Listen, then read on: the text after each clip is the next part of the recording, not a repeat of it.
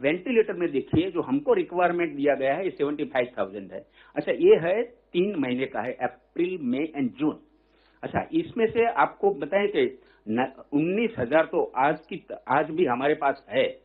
अच्छा हमने सात हज़ार आठ सौ चौरासी जितना ऑर्डर कर दिया है। इसमें से आपको बताएँ कि खाली एक हज़ार हम खाली इंपोर्ट कर रहे हैं।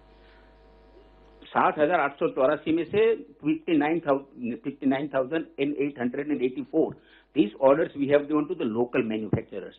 And we have identified seven manufacturers in the country, जो मैं बराबर अभी मैं बताता हूँ आपको कि बेल जो हमारी भारत इलेक्ट्रिकल लिमिटेड है और स्कैनरेकर की एक कंपनी है जो ये दोनों को मिलकर तीस हज़ार का ऑर्डर दिया है। मारुतु सुजुकी एंड आगवा करके है। आगवा एक न्यू स्टार्टअप है, उसको दस हज़ार का ऑर्डर दिया है।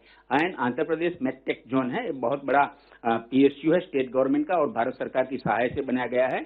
उसका तेरह हज़ार पाँच सौ का हमने ऑर्डर दिया है। उनको डिपार्टमेंट ऑफ़ बायोटेक्नोलॉजी ने भी वर्ल्ड बैंक थ्रू उनको लोन और सहाय दिया हुआ है।